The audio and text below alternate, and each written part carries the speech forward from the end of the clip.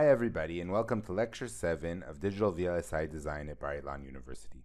I'm Dr. Adam Teman and today I'll start discussing placement. So let's start with a short introduction to today's subject.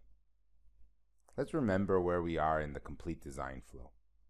So we started our um, course talking about the entire flow of making a chip. It started with some definition and planning stages that we didn't go much into in this course, and we discussed a little bit about RTL design, um, discussing how to write Verilog for synthesis and how to write test benches, and verification, we just did some direct test benches.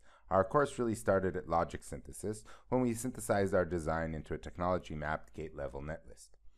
Then we went over down to physical design stage, which uh, we've been dealing with for the last two lectures. We started with importing the design into the place and route tool, um, defining our multi-mode, multi-corner, and so forth, and then drawing up a floor plan. Today, um, we're going to go into placement, um, where we have a design with a floor plan that has pre-placed blocks, some power routing, and so forth. So what we're going to do today is we're going to take all our net list, which is full of all these standard cells, and actually decide where each and every single cell sits in these standard cell or core rows. Uh, just a question, a short question to ask before we um, start discussing how to actually do placement. When people say chip size, what are they exactly talking about? So when somebody says, uh, I'm building a 100 million gate ASIC, how big is it actually? Well, when we look at a real design, we can see that small cells dominate, and um, Rob Rutenbar uh, made this plot several years ago. Took a 206,000 gate IBM ASIC, and he looked at a histogram of what the cell sizes are. And you see that the width of the cells, there are very few very tiny cells, but there are a ton of small cells. In fact, most of the cells are um, small.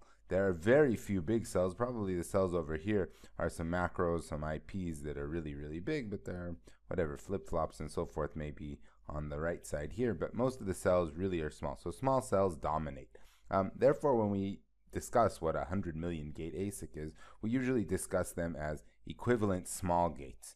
Okay, um, we can also consider these big macros to be uh, many, many small gates. So when we say 100 million gate ASIC, we actually usually say gates as equivalent NAND 2 gates. So we'll take NAND 2, it could be uh, some other gate, and in many of the tools you can actually define what this um, what this actual reference gate is, but uh, say a NAND 2 because CMOS likes NAND 2 gates, so we say that's a size 1, and then all other gates will size that, we'll see what their size is according uh, to their, uh, their relative size to such a NAND 2 gates. Um, when we discuss the number of instances, we're talking about the number of things placed, and that's much smaller than the number of gates because there are gates that are um, big, and so uh, there are very few instant. Uh, there's only a couple of instances for uh, number of NAND 2 gates, and same thing with uh, macros. So if we take a, an SRAM macro, it may be several thousand or even more than that um, NAND 2 gates. So just as a rule of thumb, um, depends on your design, of course, but you can say that the number of instances is about the number of gates divided by four or five.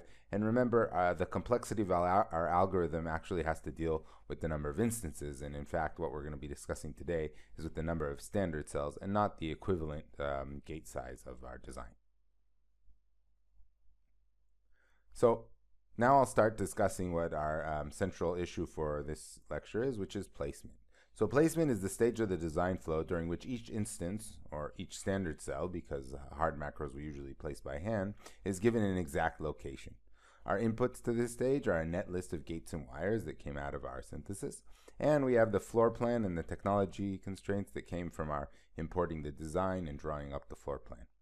The output of uh, this stage is that all cells are located in the floor plan. Each cell has some sort of a placement, and the goal of this is that each of these cells has a legal placement. Uh, a cell cannot sit in the middle of a row. It can't sit over here. It has to sit in between, uh, uh, right on a row. In fact, in a site in a certain um, legal location. Um, it can't be overlapped and so forth with other cells.